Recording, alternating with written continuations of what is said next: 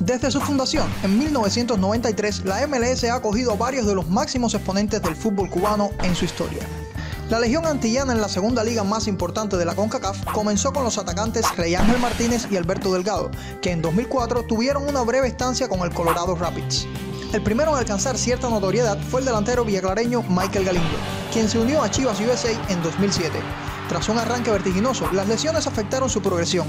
A pesar de ello, continuó vinculado a la MLS pasando por otras franquicias como Tampa Bay y Dallas FC. En 2009 llegaría Osvaldo Alonso, uno de los futbolistas con mayor relevancia en la historia del fútbol cubano.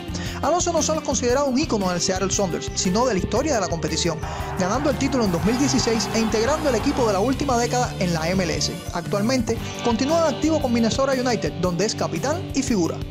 En 2011 llegó a esta instancia Jordani Álvarez, que tras ser elegido MVP en la USL, firmó con el Real Salt Lake, aunque por problemas de salud debió abandonar la práctica del fútbol de forma prematura.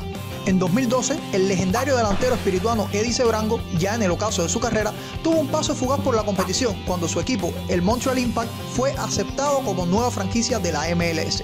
Más cercano en el tiempo encontramos a Kian Frost, que tras emigrar a Canadá debutó con Vancouver Whitecaps en 2014. Hoy juega para Saarbrücken de la tercera división del fútbol alemán y ha disputado partidos amistosos con la selección nacional del país de la hoja de maple. En el 2018, el Chicago Fire firmaría al lateral izquierdo Jorge Luis Corrales, quien por aquel entonces destacaba con el Tulsa Rockets de la USL. Un año más tarde, Corrales marcharía al Montreal Impact, convirtiéndose en el segundo cubano en la historia del club. También en el 2018 destaca el curioso caso de Samuel Armenteros, delantero de raíces cubanas nacido en Suecia, que llegó a préstamo a Portland Timbers proveniente de la Serie A del fútbol italiano. El carismático atacante llegó, deslumbró y regresó al fútbol europeo. Finalmente, en 2019, llega Michael Chang al Real Salt Lake. Tras varias temporadas tocando la puerta de la MLS, el habilidoso jugador habanero logró el título de la USL en una campaña formidable con el Real Monarchs. Esto despertó el interés definitivo del primer equipo y se convirtió en el décimo futbolista cubano o con raíces cubanas en firmar con una franquicia de la MLS.